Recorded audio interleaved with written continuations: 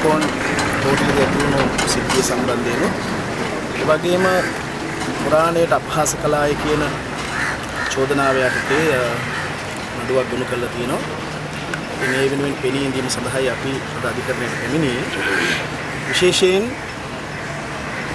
අපිට අවශ්‍යයි අ, සැබෑ ලෙසම අධිකරණ එකකට නෙමෙයි අධිකරණ 100කට ගියත් අපිට ඒවට මුහුණ දෙන්න පුළුවන්. හැබැයි අධිකරණයේ විසින් හෝ නීතිපති නීතිපතිතුමා හෝ එහෙම නැත්නම් ඒ නීතියේ ඉන්න ඉහළින් ඉන්න මේ කොයි කවුරුත් මේ රටට සිද්ධ වෙන්නේ මොකද්ද කියන එක ගැන වැඩි අවධානයකින් මිනිස්සු සහ මේ ජනවර්ග සතුටු කරන්න නෙමෙයි වැඩි අවධානයකින් සිටිය යුතුයි. මොකද මුළු ලෝකෙත් ඒ වගේම අපි ජීවත් වෙන කලාපෙත් විශේෂයෙන් මේ රටේ තාම දරුණු ගණයේ මුස්ලිම් මන්තවාදයක් ක්‍රියාත්මක වෙනවා.